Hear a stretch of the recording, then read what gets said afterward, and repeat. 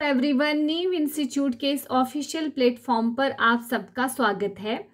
आज हम बायोलॉजी में कुछ इंपॉर्टेंट एमसीक्यूज जो है वो डिस्कस करने वाले हैं, जो प्रीवियस एग्ज़ाम में आए हुए हैं और जो है वो आपके टेट के एग्ज़ाम के पॉइंट ऑफ़ व्यू से जो है वो बहुत इंपॉर्टेंट हैं।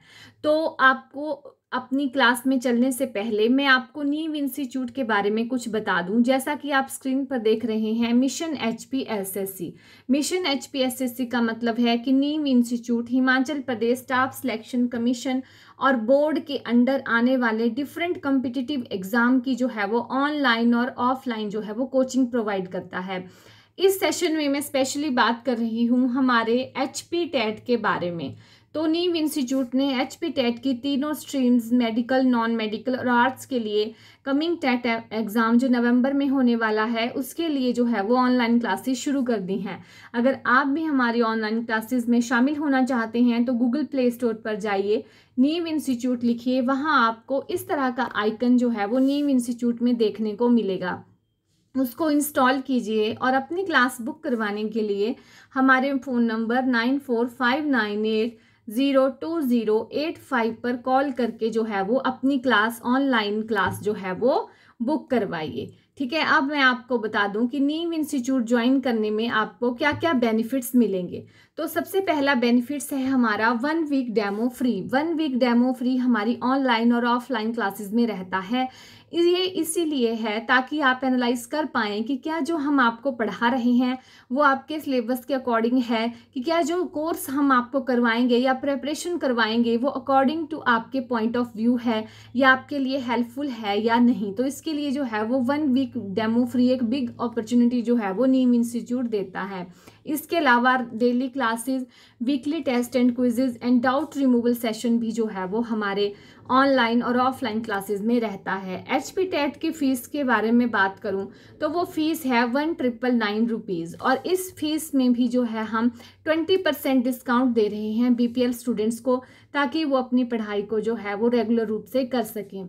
एच पी टेट में मेरे पास सब्जेक्ट्स रहेंगे chemistry and biology H P TET में मैं आपको केमिस्ट्री एंड बायोलॉजी का जो है वो पोर्शन करवाऊँगी। तो चलिए चलते हैं अपनी बायोलॉजी की क्लास में। हमारे कुछ टॉप एमसीक्यूज हैं आज के।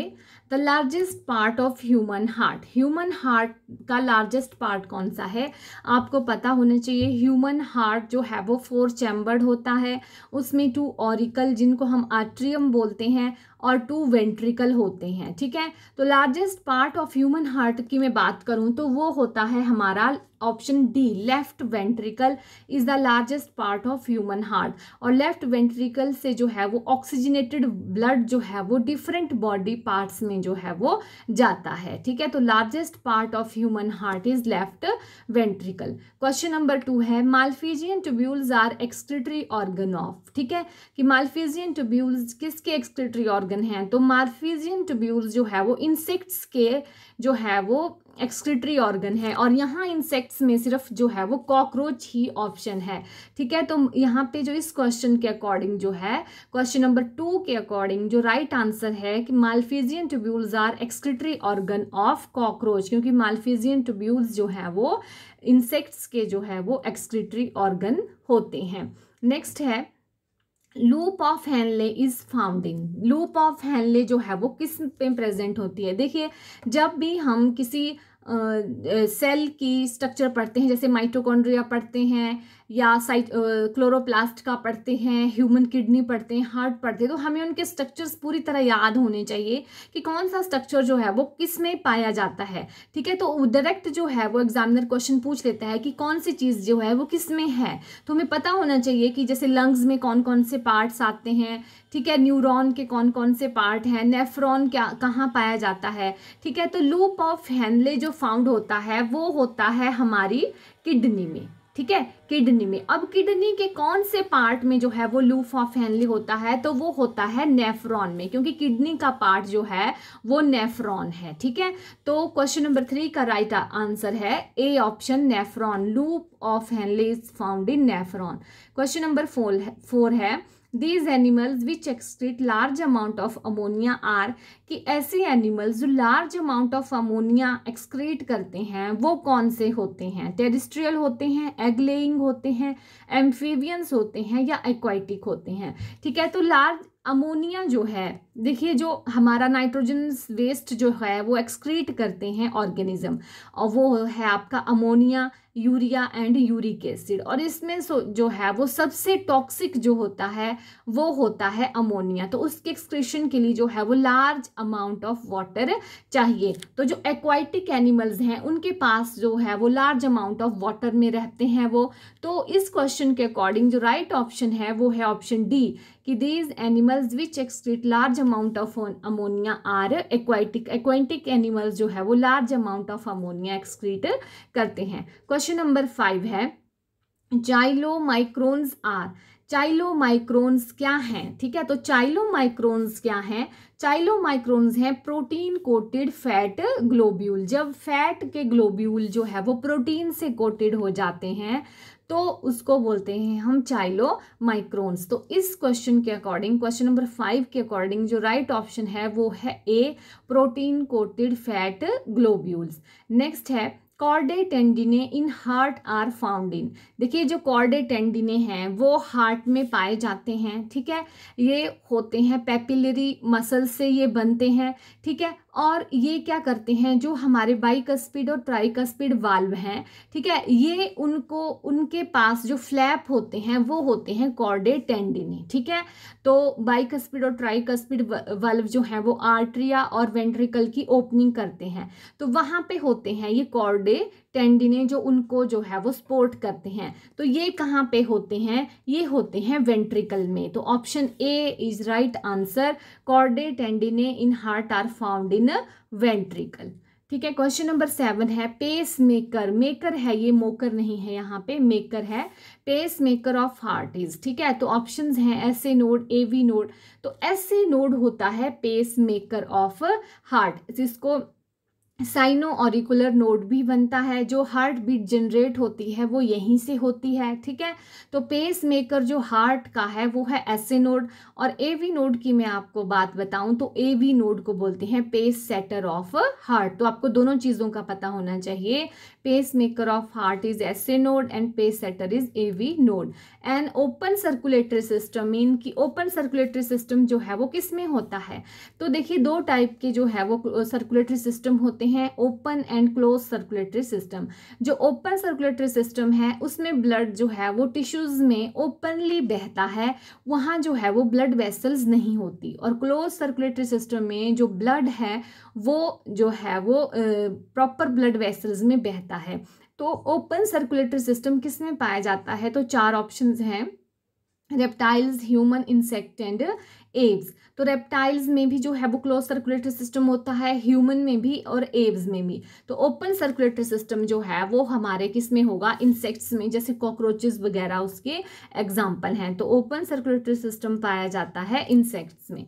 नेक्स्ट क्वेश्चन है the stone formed in human kidney consist mostly of जो स्टोन बनता है, आपको पता है किडनी में, ठीक है, वो किससे बना होता है? तो जो बना होता है, जिस सब्सटांस से उसका नाम है कैल्शियम ऑक्जा लेट ठीक ऑक्जालेट ठीक है? हमारी किडनी में जो स्टोन फॉर्म होता है, वो फॉर्म होता है कैल्शियम ऑक्जालेट का।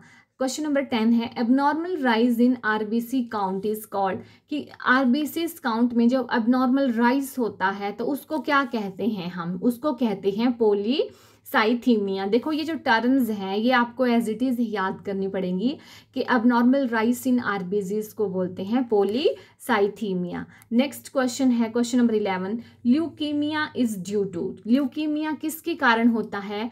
तो जब हमारे ब्लड में एक्स जो वाइट ब्लड सेल्स हैं, ठीक है, हमारे ब्लड में आपको पता है क्या होता है? आरबीसीज होते हैं डब्ल्यू होते हैं, प्लेटलेट्स होते हैं, ठीक है? तो जब एक्सेस ऑफ़ डब्ल्यू हो जाता है तो क्या होता है? ल्यूकीमिया होता है। तो इस क्वेश्चन के अकॉर्डिंग, क्वेश्चन नंबर इलेवन के according, leukaemia is due to excess of W B Cs white blood cells जो हैं, उनकी एक्सेस हो जाती है तो उसको ल्यूकीमिया बोलते हैं। क्वेश्चन नंबर ट्वेल्व है the cells called podocytes podocytes है ये ठीक ये मैं लिखती हूँ इसकी स्पेलिंग दोबारा से। यहाँ थोड़ी स्पेलिंग मिस्टेक है। पी ओ डी ओ है, ठीक है? यहाँ यू लिखा है, यहाँ पे ओ है।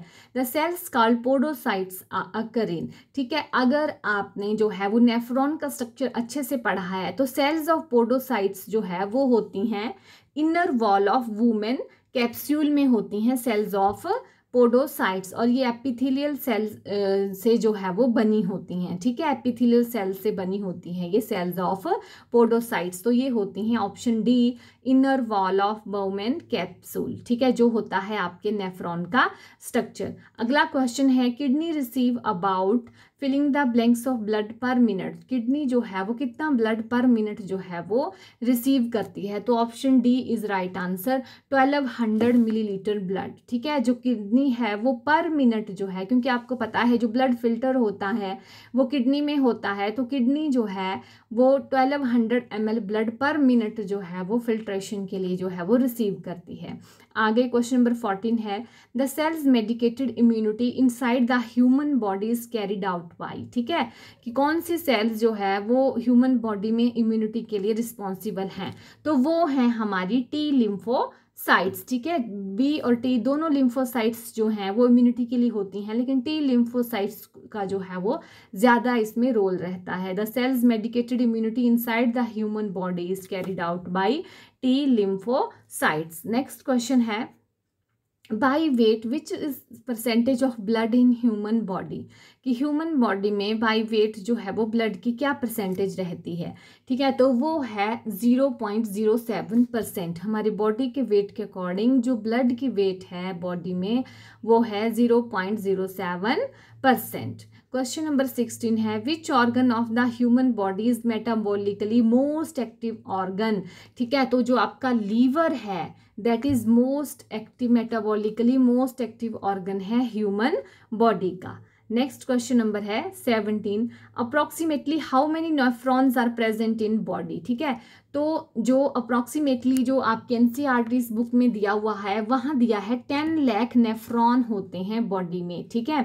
और टेन लैख को जो है वो वन मिलियन भी बोलते हैं तो आपने कंफ्यूज नहीं होना है। One million and ten lakh जो है वो इक्वल टर्म्स हैं। नेक्स्ट है question number eighteen the increase in acidity of blood is ठीक है?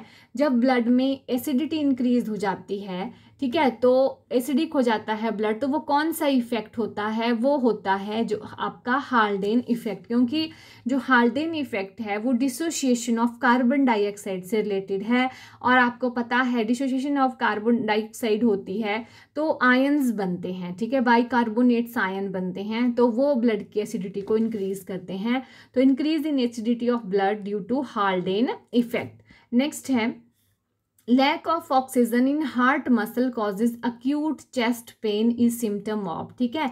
तो जो अक्यूट चेस्ट पेन होती है हार्ट में, वो किसके कारण होती है? जब हार्ट मसल को जो है, वो प्रॉपर ऑक्सीजन नहीं पहुँचती तो हार्ट पेन होती है चेस्ट पेन होती है, जिसको हम बोलते हैं ऑप्शन ए एनजीना ठीक है? एनजाइना ठीक है? तो इसको बोलते हैं एनजाइना कि lack of oxygen in heart muscles muscles है यहाँ पे मसल्स एल है यहाँ पे के नहीं है. Muscles causes acute chest pain is symptom of angina question number twenty है malformation of kidney mal M A L है. Formation of kidney led to accumulation of insoluble crystal crystal है ये क्रिस्टल सॉल्ट जिसको stone बोलते हैं, ठीक है? और हमने पढ़ा, वो किसका बना होता है? वो बना होता है कैल्शियम ऑक्जालेट का, जो स्टोन बनता है किडनी में।